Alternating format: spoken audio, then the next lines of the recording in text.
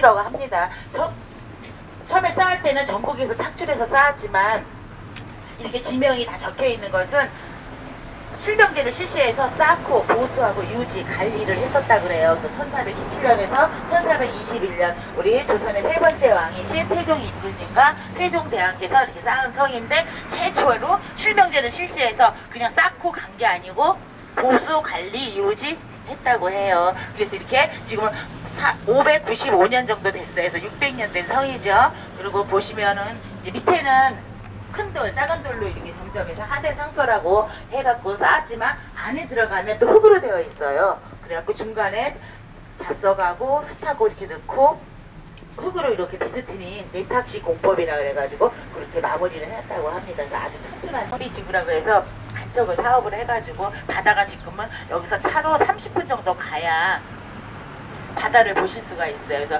옛날에 외부에 침입도 막기 위해서 이곳에서 조금만 가면 덕사 있고요. 이곳은 그래서 병영성이었었어요. 병영성이었다가 230년간 병영성이었는데 그 병영성이었을 때는 한 850명에서 1000명이 넘는 사, 훈련원들이 이곳에서 훈련을 하고 생활을 했던 곳이에요. 여기 포토 찍는 게 사람 많으니까 여기다 좀 뒤에서 씁시다.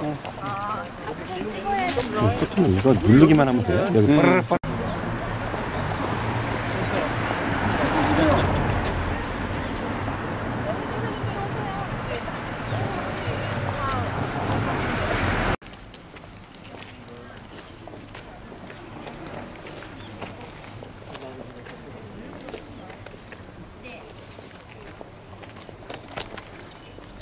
아,